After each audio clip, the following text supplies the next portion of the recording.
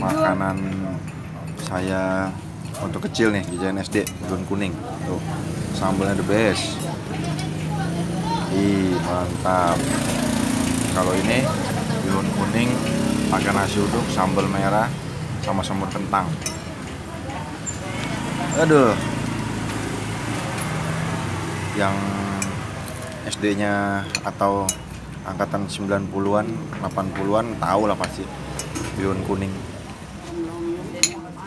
Terus saya SD ini jajanan tahun 90-an ini mantap di daun pisang gitu tempatnya. Jos pokoknya. Bihun kuning mantap. Biasanya dia sambel-sambel apa kuah gitu. Ini kayaknya sambelnya agak-agak kental nih pakai kacang karena jualnya gabung sama nasi uduk. Ini. Ngiler ya? Mantap